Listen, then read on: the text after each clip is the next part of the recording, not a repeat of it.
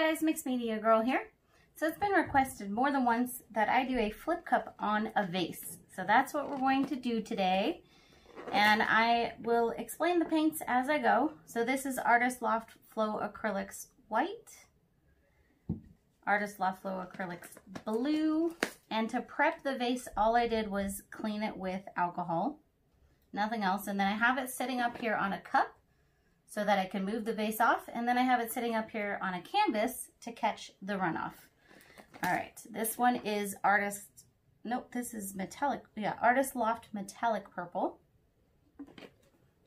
This is Art Minds Amethyst. So it's a metallic purple as well. I'll go in with a little bit more white.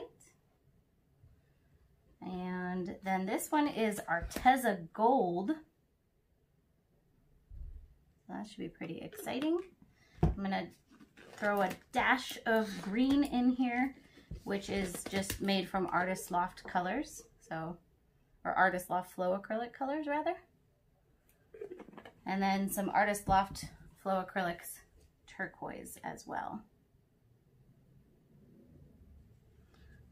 So definitely should get a, a peacocky vibe here. So let's do a little bit more of the blue, which is almost out. Come on. All right, yeah, that one. Need to re replenish. Okay, some more purple.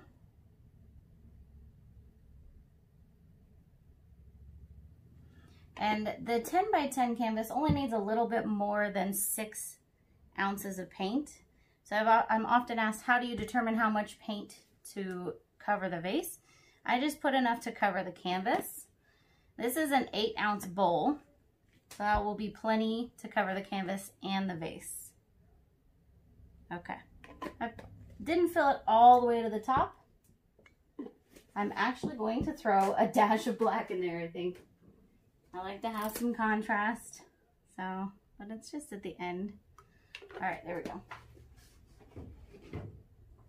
Now this is going to be interesting. I am going to actually take it off the cup and I'm going to try to create some suction. Yeah, I don't know how this is going to work out. Because the end is, oh, oh, might in fact work. Okay. It's going to start coming out the sides the second I flip it over.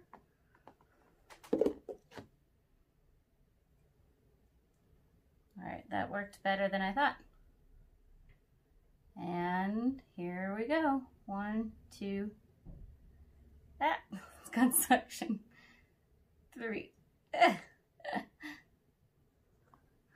Ooh, great colors. Now, in case anyone hasn't seen my other vase videos, generally I just pour it on the top. I do like a tree ring. So that's why this is definitely different. And we'll see the different patterns that it gives us. Um, and I will put a link down in the description. I actually have a whole playlist for acrylic pouring on vases.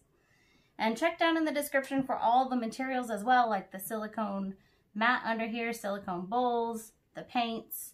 I try to put as much in there as possible. So we're going to let this go ahead and run. I will speed this part up and then we'll, we'll come back and do the canvas.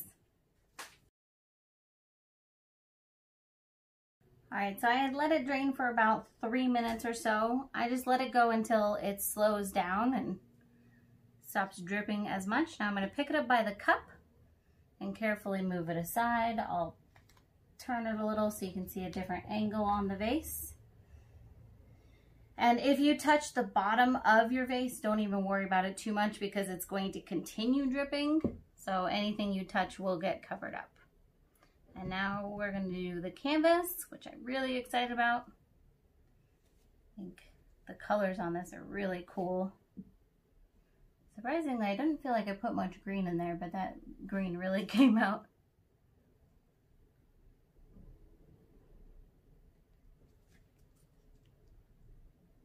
And one of the things I love about doing the vases is just how the canvas comes out. The really cool designs you can get on the canvas that you can't get with like any other technique really. Just due to the way the paint moves around and drips.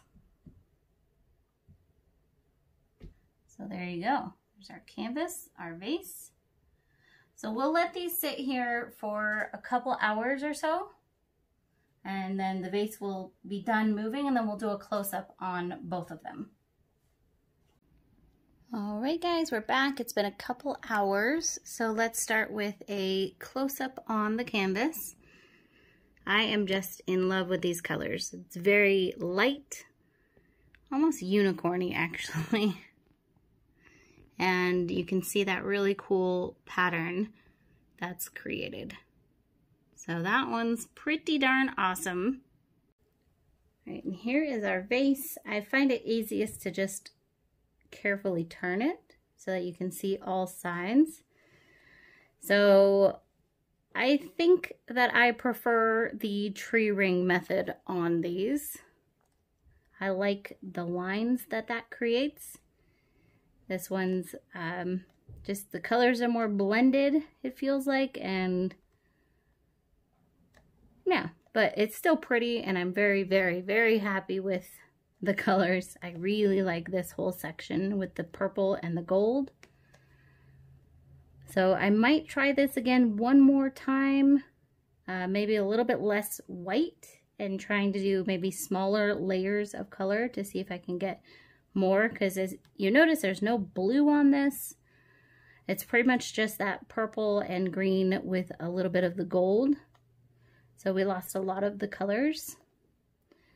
But yeah, there you go. All right, guys, I hope you enjoyed this. Once again, please check down in the description for all of the materials. It should answer most questions that you have, including the ratios that I mix my paints at and everything. And I will see you all next time.